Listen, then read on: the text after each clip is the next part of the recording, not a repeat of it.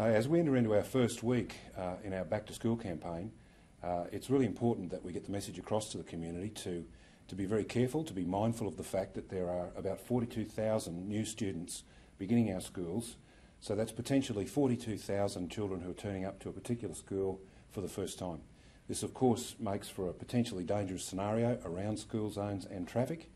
Uh, the fact is that uh, there is a risk whenever we're driving near school zones, but particularly that, that uh, drop off and pick up period, uh, that uh, uh, children can um, act spontaneously in a way that will put themselves at great risk. So we are urging motorists to take great care, to comply with the speed limits in school zones, uh, and to ensure that this week, this return to school, is not marred with the fatalities that we can often, too often see.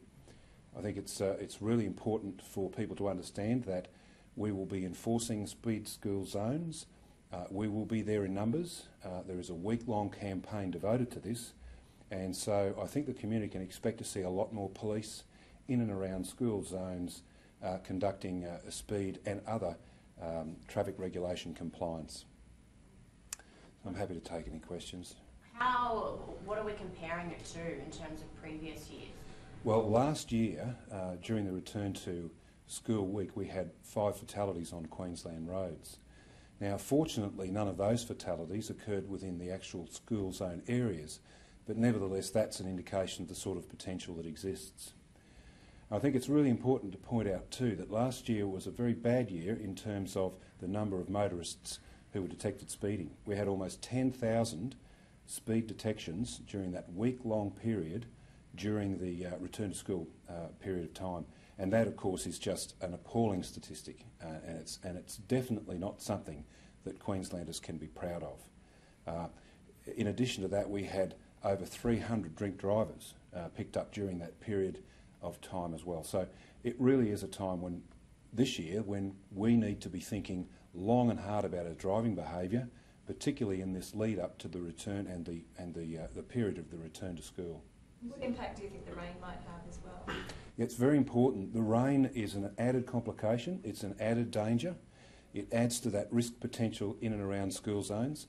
So it, it is really important that people understand that their visibility is decreased, their braking distance is increased, and all up, there's a considerable greater potential for injury as a result of both rain and this return to school. Is this, is this return to school the final part, like phase four of the, of the holiday period? Yeah, officially our, our Christmas, New Year, return to school uh, holiday campaign uh, finishes this Friday, it's the 27th. So um, that proportion of the year that we set aside to enforcement in and around school zones, precincts, etc., etc., will roll back to our normal levels of enforcement, our normal levels of policing. How's that period been so far in terms of speeding, drink driving, uh, you mean the overall? Yeah, uh, I, I, I, don't have that data with me, unfortunately. I, have I've focused primarily on this return to school uh, portion, but uh, that data is available, but I, I, just don't have that with me for the overall period. Obviously, there's been a lot more though. Well, yeah, I mean, as we start 2012, we're sitting now at 19 fatalities, which is 11 fatalities above uh, what where we were last year at the same time. So, I mean, that's a, that's a real concern. And I think the, the reason why it's important for us to push the message, particularly over this return to school period, is the fact that we've had so many fatalities in such a short space of time. We certainly don't want to see uh, adding, uh, us adding anything to that statistic as we go. What do you think the reason is behind that massive increase on last year's? It's difficult to find any one particular reason for that. We do know that the majority of these accidents, uh, of these crashes, um, we, we, are investigating the relationship between those and the fatal four causes of road accident.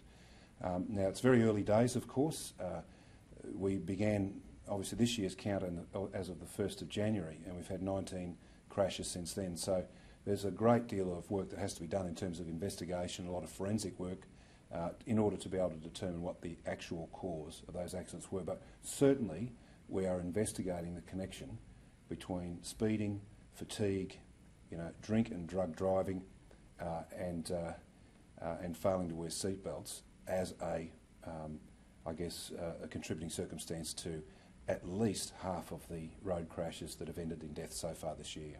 We were in some of the school zones this morning watching drivers get picked up for speeding. Is there really any excuse now? I mean, it, it's, it's been it's been that way for a long time. The 40 zone. It's been well publicised, and I think that most drivers now understand that when you're near a school zone, uh, there are limitations uh, and there is a reduction in terms of speed limit. And, and I really don't think it's, uh, it's good enough for people to say that they didn't know. I think you're right. I think it's been publicised far and wide. Uh, it's been the subject of a fairly uh, intensive uh, media campaign with our, our friends at the Department of Transport and Main Roads. And I, do think that it's really important that people uh, pay attention to those, those uh, zones and those speed signs. I think the big thing that people overlook is that there are 42,000 more kids going to school for the first time.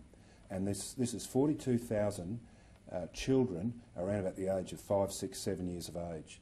And they do not think like a grown up adult with all the experience and road sense in the world. They're just children and they're going to make mistakes. They're going to run out.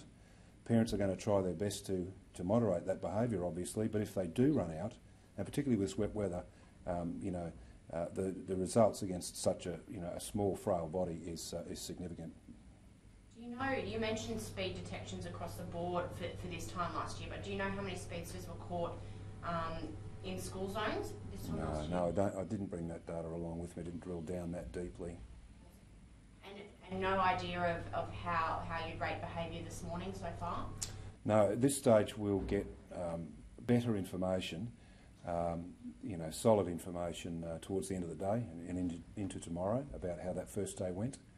Um, so far, we've had no reports of any fatalities, um, so that's a, that's a very good thing, um, a positive thing. We've got our fingers crossed. We still have a long way to go, still another four and a half days of this campaign. So um, we, we certainly are, uh, are being vigilant. We're certainly ensuring that the enforcement uh, element of our strategy is, uh, is at work, and we'll, um, we'll continue with that strategy until Friday.